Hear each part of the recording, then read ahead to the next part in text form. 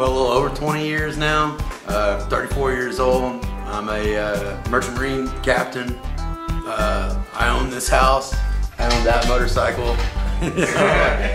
we do, we still do good, man. So, uh, yeah, man, uh, Twiztid, Blaze, all day, all day, every day. So, all right.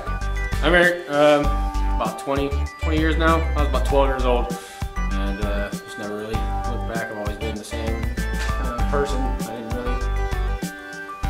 I don't fit the standard. We all just kind of fell in line behind it. Like, I, I didn't even know that many really when I first started out. And like he said, he changed a lot. You know, he, he fell off and I kind of just stuck with it my whole life. You know, and everybody I've ever known, every girlfriend I've ever had hates my music. You know, except for one. So But- you're you're, you're Juggalette, Julia? Would you like to be on the video? excuse me. I'm not a juggalette. I wouldn't classify myself as one. I But I, I agree with Jon. I think I take away would be the message. Like I think they're very funny.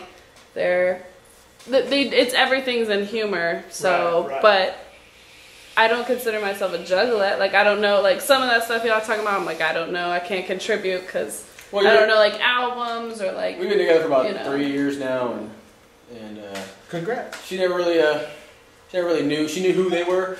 She, I think the first time she ever said something. No, I was talking my- my- shit about my his friend hatchet Ray- man on his cat. Oh, yeah, I was show sitting there talking quick. shit, and Show, show he like gave me a I kinda- lesson. and tell him where you got it. It said, uh, "You pick it, we stick it."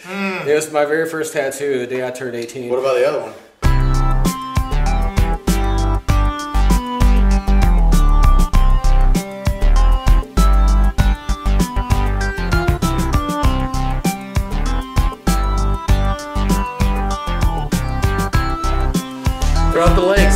A mixture of uh, prom queen and my kind of bitch, which are both old uh, pre riddle box songs. Yeah, yeah. Yeah, Tunnel of Love.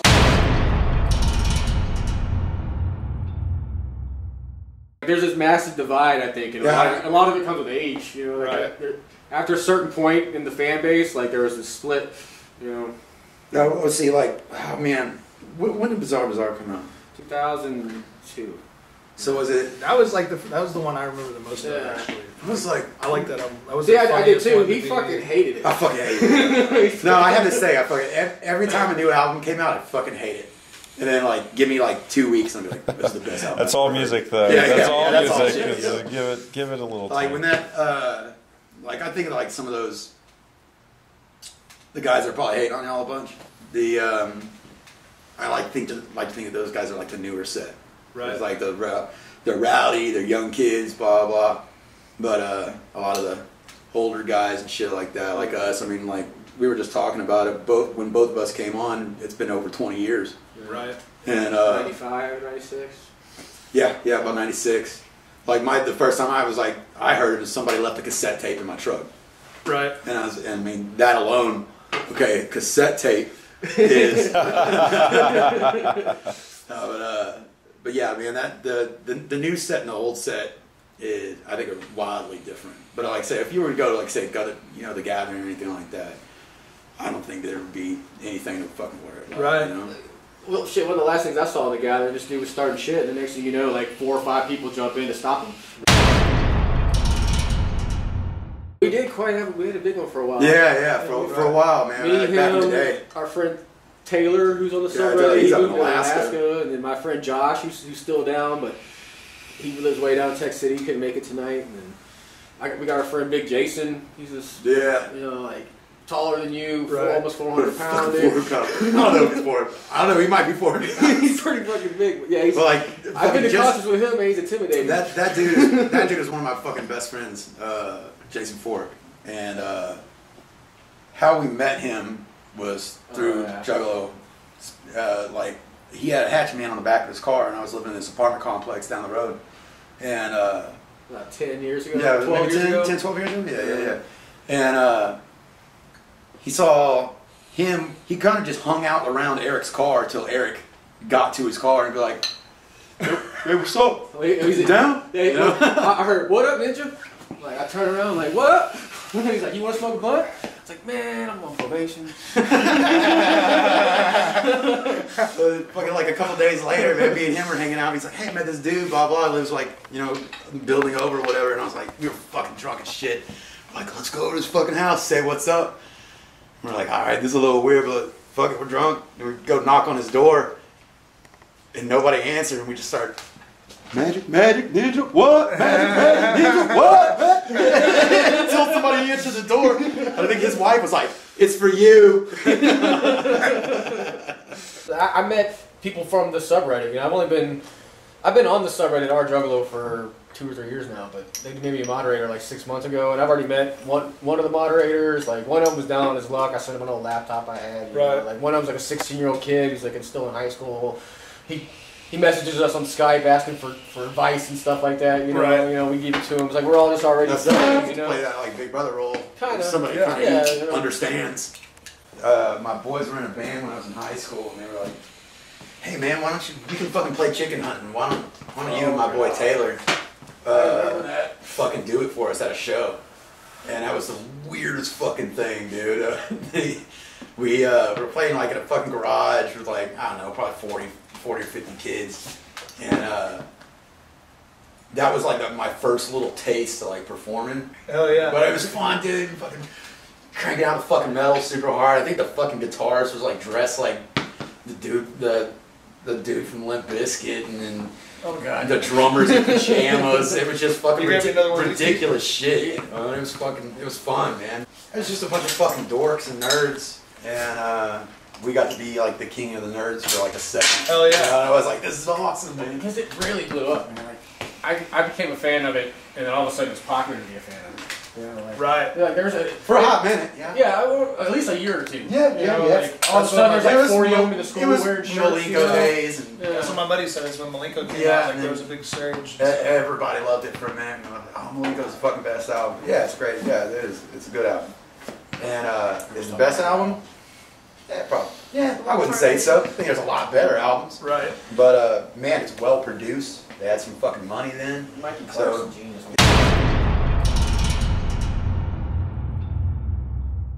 ICP is one of the only people that can really control their crowd. Like, with all the openers and shit, people are throwing shit at them. But like, as soon as ICP gets on stage, ICP's throwing shit at them. Right. Because they, they bust out the Faygo and. Like, I've never left an ICP concert where I didn't. Yeah, I dry. I didn't need a towel. You need a towel. Bring Yeah. a fucking towel. For sure. Man, we were we were watching. Uh, fuck, man, who was at that show with me? It had to have been you. When we saw uh, ICP and Twiztid and Mastermind over at uh, what was that? Fucking Fitzgerald's. Fucking after the show, these dudes' cars were broke down. We were like walking down the street. Guys are selling fucking demo CDs out of their trunk, shit like that, like old school rap style. But these uh these kids, man, they had their, their cars fucking broke down, and they had just like a crowd of people coming over, like, "What do you need? What do you got? Fucking, we'll fix your car. We'll figure it out." Blah blah.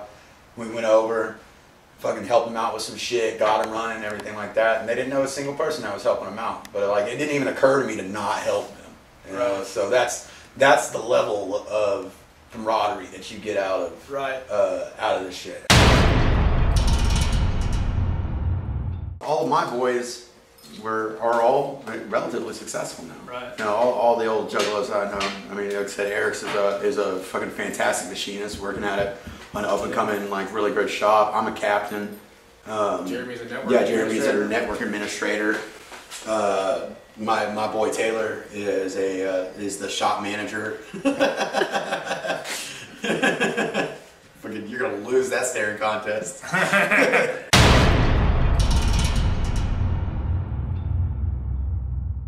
it's, it's it's weird when you don't even fit into like the nerd set, right? Right. So, like, it wasn't jock, wasn't wasn't preppy.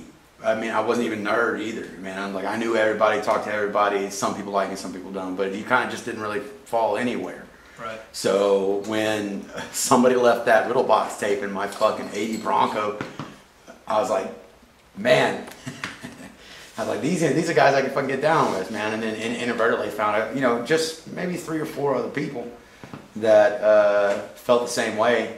And one dude uh, who was still my fucking boy forever in life, and he was living up in Alaska, and I still talk to him like shit at, least once every couple of weeks, and uh, and shit that was 20 years ago. Right. You know, so as being as weird as that was, and and, and so outside, that that felt comfortable, and um, shit. I mean, I mean, it's still that way.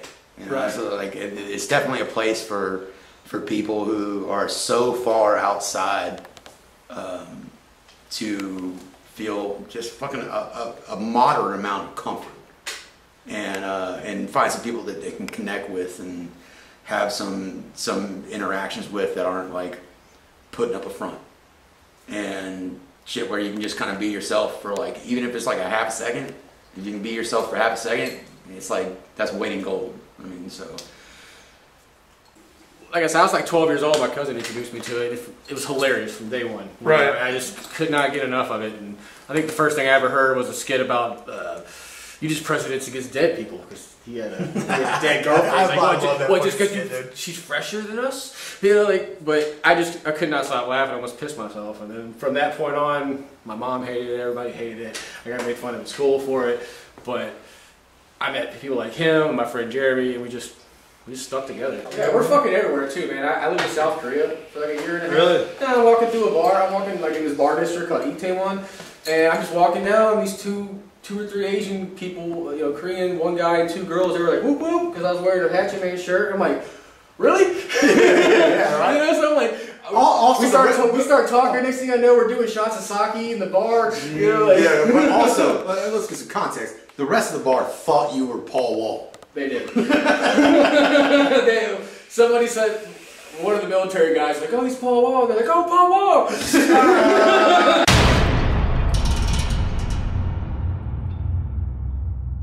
the track 13s are on all their serious albums. Twiztid does them, ICP does them. Um, like, what's a good example? I mean, like, no abk abk's got some great track 13s yeah, I- I'm pulling blanks on song names right now, but like The Great Milenko is a perfect example because it's so mainstream. Yeah, Pass you Me could like By. Pass Me By, you know, which is about. i have to You're- pull, yeah, I you're- have to pull up the I- track I used to. I had like two or three friends die in the course of like two years, and that song really helped me out. You know, like, you can go and have a good cry over it. You know, Right. even even, Uh, even though I'm not religious, you know, I got the message from the song. You know, and it's comforting. Uh, we also on Fatso, Tear Tearjerker Yeah. is He's talking about his that dad ball- dying. That song would be fucking bawl every fucking time, dude. I've heard about this too, just in the past couple of days about like going to shows and actually you see like juggalos like like where there's songs that like speak to them like, Exactly, like yeah. every song a different song can speak to somebody a different way and there's Absolutely. guys like just like almost at tears or at tears I- I would- because I mean, you, you, I'm a and grown you're never gonna see. And because they're there, you know, they're there with family and stuff. That's got to make it so much bigger too. Like Yeah. being at the show with It's, the uh, guys that have said it. And I mean, it was powerful. people just I turn can around and give you a hug too if they see you too. About it, you know, Yeah. they won't make fun of you for it. But I mean, they. I mean, that that's one of the really cool things. Is like they get it. I mean, they get uh, this being being a fun, silly fucking thing, but you hit those certain those certain tracks that really like fucking hit you hard.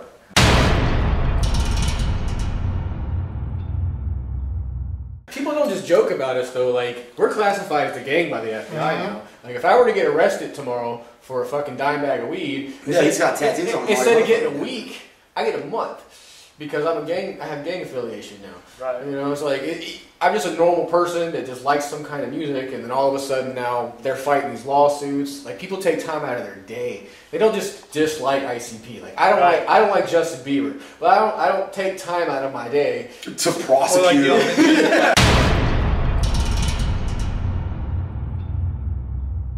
really the whole purpose that uh, I wanted to impress upon you for coming over tonight was to let you know that there is a, a level to all this. There's multiple levels to all this.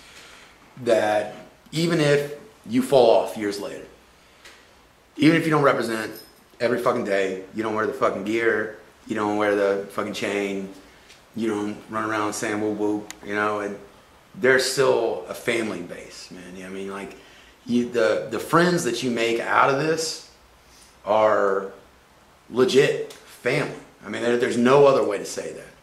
Your family, and th- those those cats will never let you down. They're- laying out this message for you, and you can take what it, you can take from it what you want.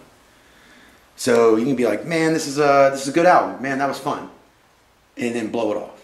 Or you can look a little bit deeper into it and be like, these were the songs that I listened to at my worst times that like helped me out. And not only that, but I've got people that listen to the same songs that did, it did the same for them, and then we can kind of connect on that same level.